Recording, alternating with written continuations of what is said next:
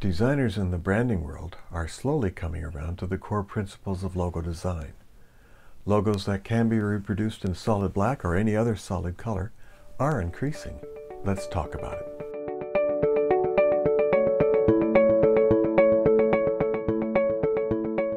Flat color rules. So many companies that had either multicolored logos or logos that required gradients or halftone screens have realized that there are just too many situations where their identities did not reproduce properly, or clearly, or without extra expense. From vehicles, where printed vinyl doesn't last as long, to stationery, which is often printed on smaller presses, to the separate issues of basic clarity. Many companies have changed their logos to work in one flat color, which means, of course, that they could work in solid black as well. With many of these examples, issues other than color are also addressed to good effect. It might seem counterintuitive to the inexperienced, but a single flat color is inherently clearer than any multicolored variation. Number one, BT traded its multicolored logo for a rather boring identity instead. But at least this one will be clear and easy to reproduce consistently. Number two, DC Comics' new logo is also simpler, but this one has more mass than BT's. Number three, Salesforce's old logo subordinated the signature inside a soft cloud shape with half of their signature type being in low contrast. In addition to stronger type, the logo in solid color will now be easier to reproduce. In the future, will they reduce the cloud shape to a separate logo and make their signature black? That would be a further improvement, we will see. Number four, the old MIT Media Lab logo looks like it was designed more by an engineer than a designer.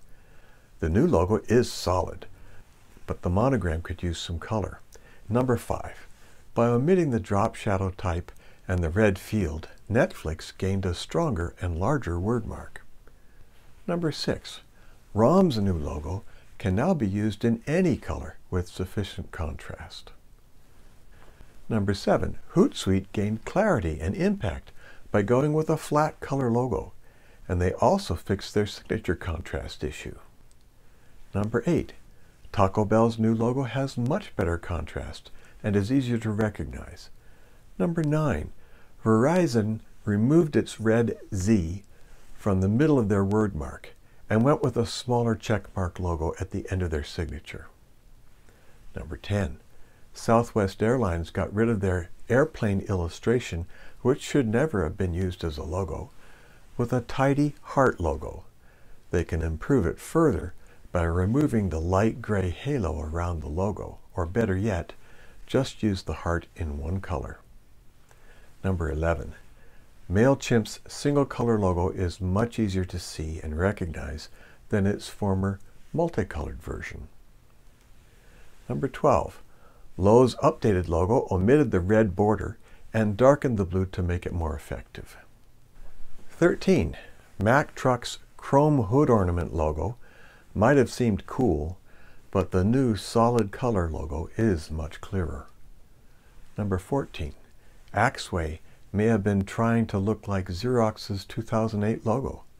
It didn't work any better than Xerox's logo did.